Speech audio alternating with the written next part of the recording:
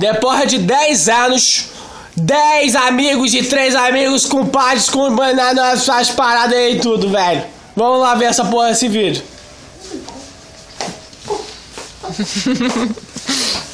Então, Ricardo, quanto tempo mora no Rio já, Ricardo? Caraca, meu irmão, faz o quê? Mais de 10 anos, compadre, geral. Então, Ricardo, chegaste em Curitiba quando eu cheguei há 10 anos atrás, não sabia nem andar, né?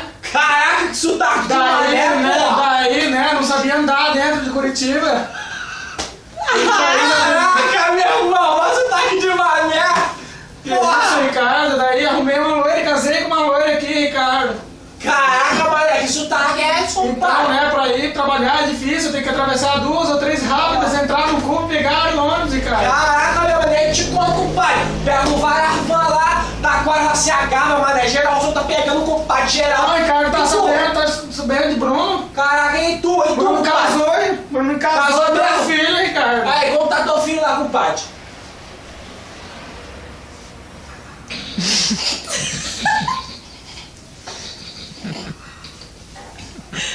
Caraca, meu irmão, falei que teu filho, compadre. Filho dele deve estar um capeta, né? Tem um 10.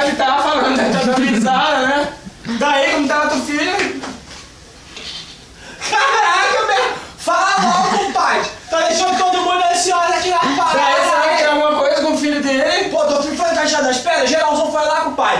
Pô, o filho tá torcendo pro Grêmio, pro Curitiba? Parece puta que porra!